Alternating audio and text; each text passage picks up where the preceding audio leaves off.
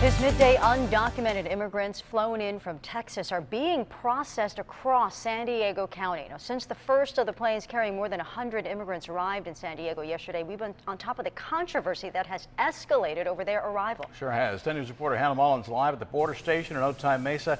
And these latest developments seem to be frustrating for the Border Patrol. that's in charge of ruling everything.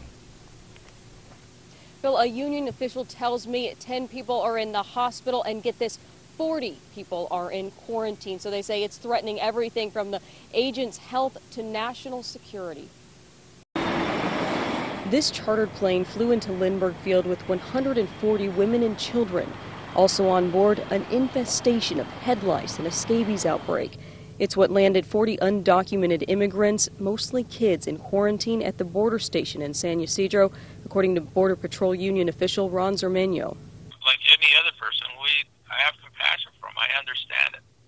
Overnight, a bus pulled out, and the two Border Patrol agents behind the driver were wearing masks, which we've learned they're being advised to do. That's my biggest fear is one, the, their health, but also their safety in the field. He says they were already understaffed, so pulling agents from the border is putting their safety at risk and could put national security on the line. The morale is the lowest I've ever seen it. But how much pushback is too much?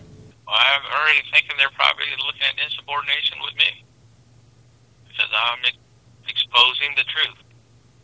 And that's what a lot of the agents are giving me the information because they want the public to know the truth. He says it's about protecting his agents and the border and exposing the truth because exposure seems to be a growing concern. I think the public needs to be aware because a lot of the average citizen is not aware of what's going on. And I think they need to be aware because it can, they could be exposed tomorrow. And he says it's worth putting his job on the line so people will know and so that people can open up a conversation with public officials. We're live in Otay Mesa. Hannah Mullins, 10 News. Thank you, Hannah. Meanwhile, demonstrations continue in Murrieta as both sides of the immigrant transfer issue make their feelings clear. We continue our team coverage with 10 News reporter Marie Coronel near that Border Patrol facility. Well, all morning long, we have seen a few protesters stop by. Uh, you can see behind me the TV station trucks are still lined up right in front of the entrance of uh, this Border Patrol facility. Those who have come by, they are voicing their opinions about whether or not those buses should be allowed here in Murrieta.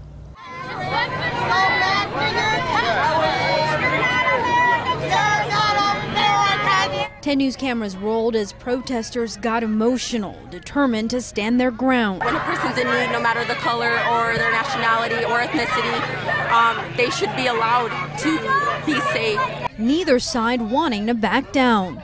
It's not about the race and it's not about um, Mexicans, Asians, anything like that who's coming over here. It's doing it the process correctly. But as the sun came out, that number dwindled, leaving only a handful who want to keep undocumented immigrants away from Murrieta. One of those is Burke Hinman. He tells 10 News he plans on showing up every day to send a message. If the buses get through, the buses get through. I'm not against immigration, but I am for it being done appropriately and legally.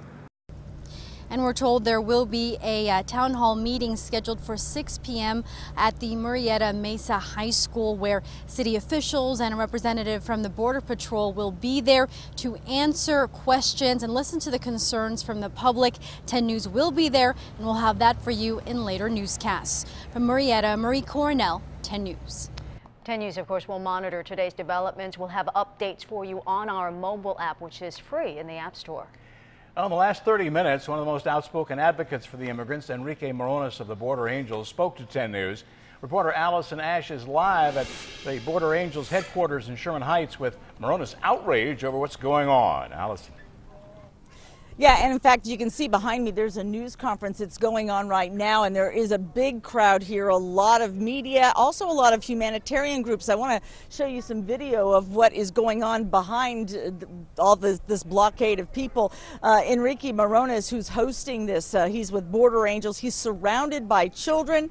They are all saying children should not be turned away from our borders. They're taking up a collection uh, to take care of this surge of undocumented immigrants. Now, as I said, this was hosted by Border Angels Executive Director Enrique Morones, witnessed the busload of immigrants yesterday as it was swarmed by protesters in Murrieta. Here is what he had to say about that. We saw the worst of the American spirit. How is it possible that these children that simply want to live, these are refugees, these are migrants that are escaping a very violent situation in Central America. They simply want to live. And that's how they're greeted. That's how they're greeted with pounding on the buses, blocking the, the three buses that were coming into Murrieta. And I place a lot of that blame on the Murrieta Police Department. They need to be investigated.